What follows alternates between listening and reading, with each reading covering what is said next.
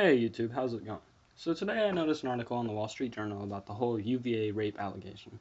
I'll link the article in the description, but the point of it was just explaining how the Rolling Stones retracted the article, A Rape on Campus, and how the managing editor of the Rolling Stone is saying it's her own fault. Also, the reporter who broke the story and Mr. Dana, the editor, are both staying at the paper and are continuing to write for them. Basically, how I feel about this is that I really think that it's on the reporter, not on Dana, the editor.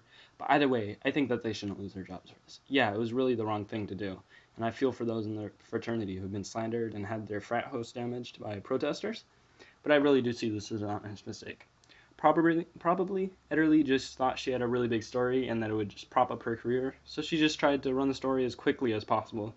And obviously, she was wrong, and now she's apologized. She said, uh, Quote, reporting on rape has unique challenges, but the journalist still has the responsibility to get it right. I hope that my mistakes in reporting the story do not silence the voices of victims that need to be heard. End quote. Um, yeah, I really, like, the apology is fine, yeah, but I really think she should have addressed the actual damage she caused, not just the, uh, how the next victims will not be as valid. I think she should have addressed how the frat house is damaged by all these protesters who's going crazy about false uh, reporting. And I do see it as an honest, an honest mistake, though.